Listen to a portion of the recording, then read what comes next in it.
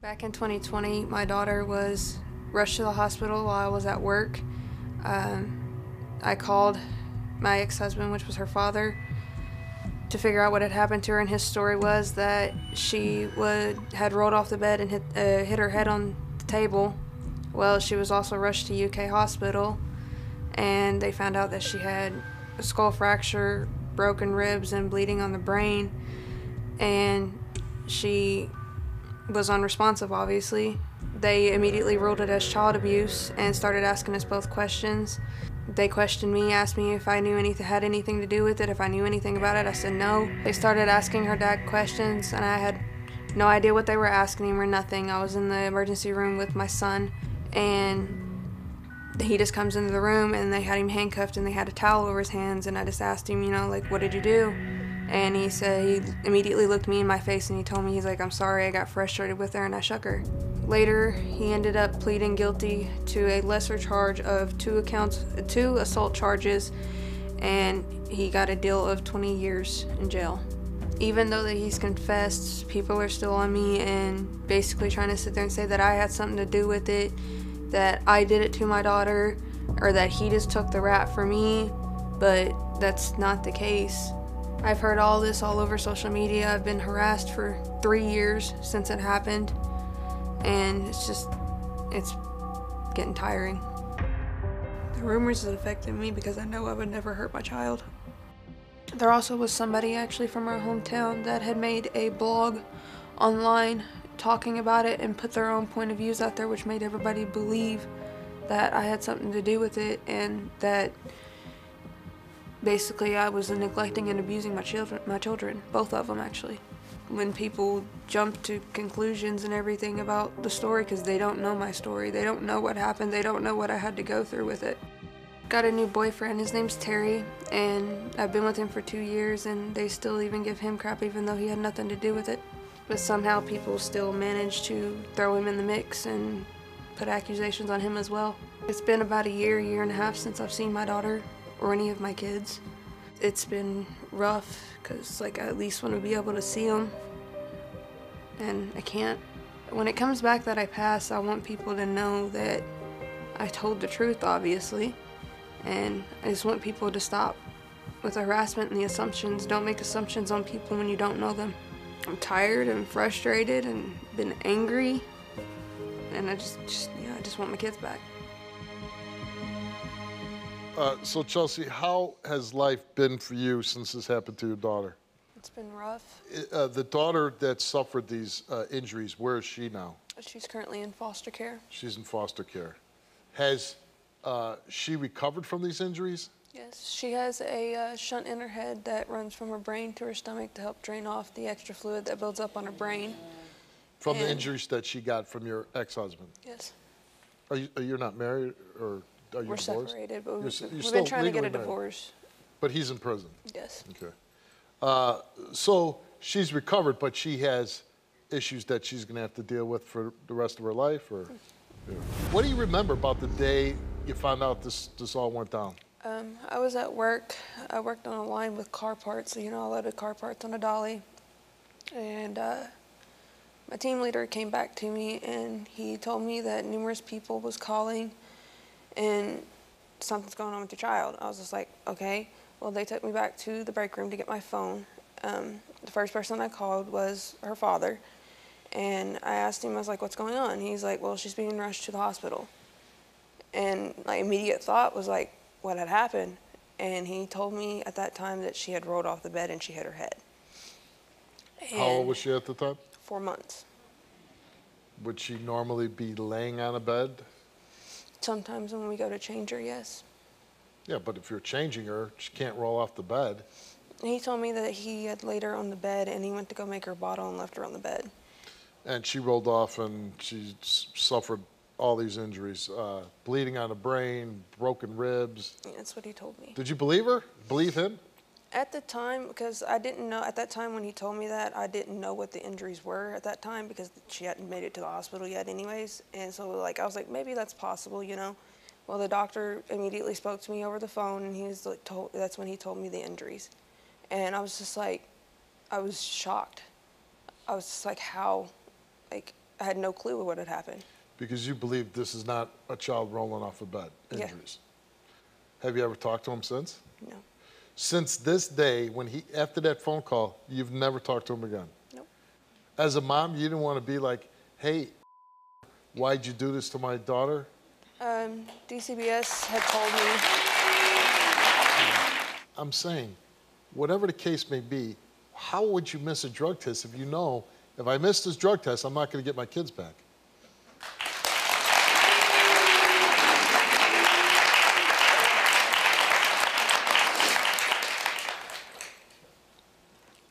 You didn't think that way? I mean, it's just, it was hard on me because I didn't have a vehicle. I was at work and I worked in a different town. And I even Well, told then him that how'd you get too. to work? I rode in with a friend that worked with me. Okay, so now your kids are gone, right? Are you ever getting them back? I don't know. You don't know if you're ever getting your kids back. They've been gone for three years. Do you think you're getting them back? No. Are they being adopted out? Yes. So you're not getting them back. Did you have to sign a piece of paper, sign your rights away? No, they terminated it. Oh, they, they just said, you're done. You, and you didn't, did they give you a reason why they were terminating your rights?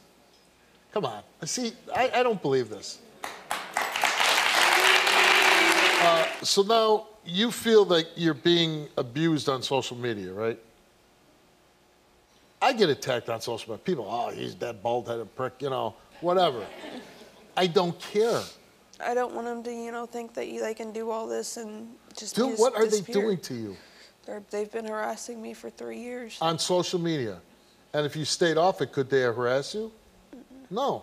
So get off of it. What, what are they saying about you that's harassing?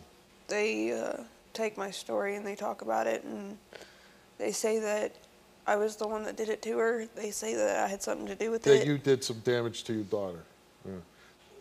So now you're, you're still a young woman. You're only 23 years old. Um, you had these three kids in your life. You were a mom. They're totally out of your life.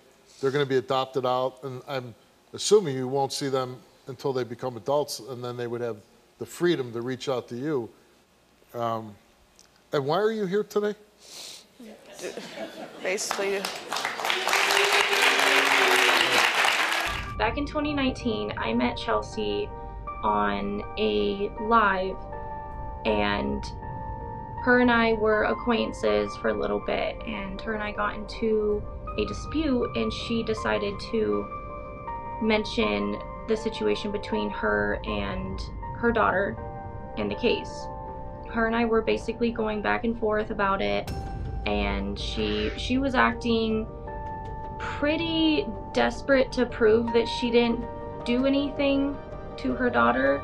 Um, I was like, why, why are you like at telling me this? Why are you, you know, trying to do all this? Like, I, I don't really care, I guess. Like, I, I don't really care. Like, it's not my business. And so I basically just asked, did, well, did you do it? And she got offended over it it's not like I was accusing her of doing it. I just simply asked her if she did it because of the way that she was acting. I think that she knew that the father was doing it. But how do you say that you didn't know that he, he was doing it when he has a past of being abusive? What makes me think that she hasn't fought for her kids, and what makes me think that she had something to do with it is the way that she acts on social media. She acts like she doesn't care.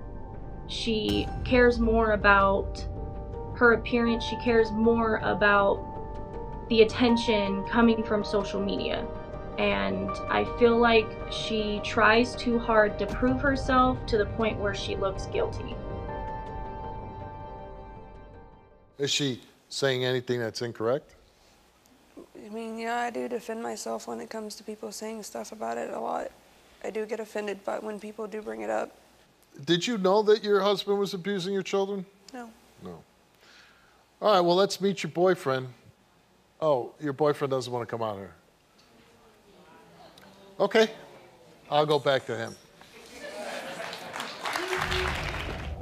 How you doing, Terry? Pretty good. Nervous. You know. Yeah, nervous. What are you nervous about? Um, if it really happened or not, you know, if she's telling me the truth about it. you Yeah. know. What do you think? I don't know, to be honest. Um, it, I don't know. It, it's coming to my mind if she really did it or not, or if her husband done it. You know. Uh, When you hear her answers on stage to a lot of things, does it give you pause? yes. Yeah. Like whenever I first met her and everything, you know, I didn't even know she had kids at first. Because she didn't have them. Yeah, but I mean, also she, where she went through all that trauma and everything, she didn't want to tell me. She didn't tell it. you that she yeah. had three kids. When did she tell you she had Uh, three kids? around like two weeks after we was talking and everything. Um, And does she spend a lot of time on social media? Yes.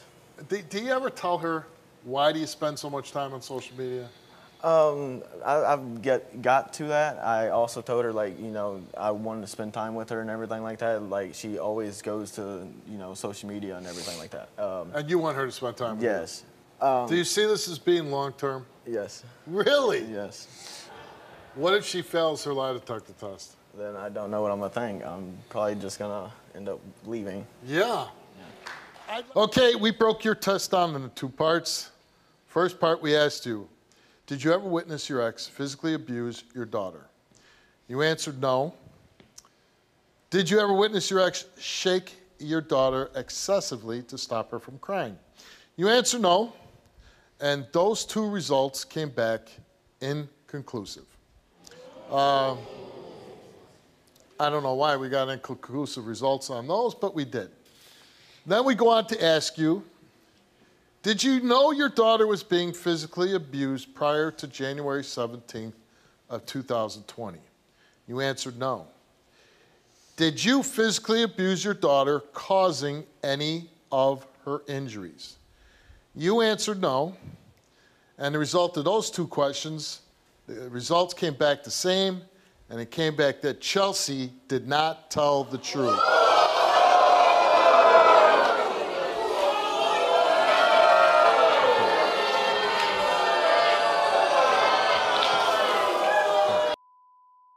Okay. And just just so you know, you need uh, a minus four to fail or a plus four to pass. Minus four, plus four. You failed your test with a minus 18. So, uh, kind of lying, lying off the charts, okay? Lying off the charts. So my, my, my question to you is, why did you physically abuse your daughter? Please don't tell me you didn't do it. Didn't. Because you want to just continue to lie. I never. There's a reason why you don't have your kids. There's a reason why you will never have your kids again. So this, all this is just a piece of paper saying you're a liar. But most people know that about you already. Anything you'd like to say? Well, oh.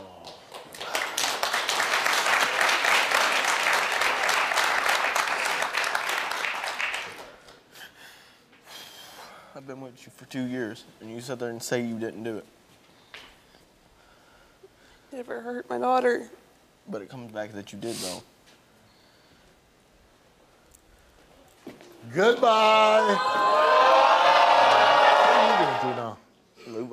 Move on.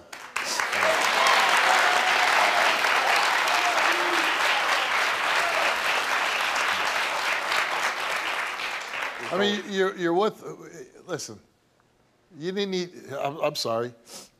All this is just reaffirming things. You, she didn't do anything she could to get her children back. She, she failed to do the basic things that she could have done to get her kids back.